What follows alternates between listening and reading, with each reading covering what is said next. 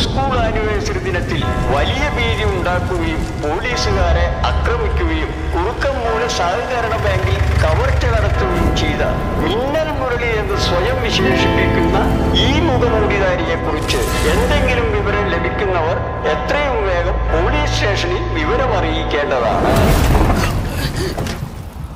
അതെന്താണ് tsunami?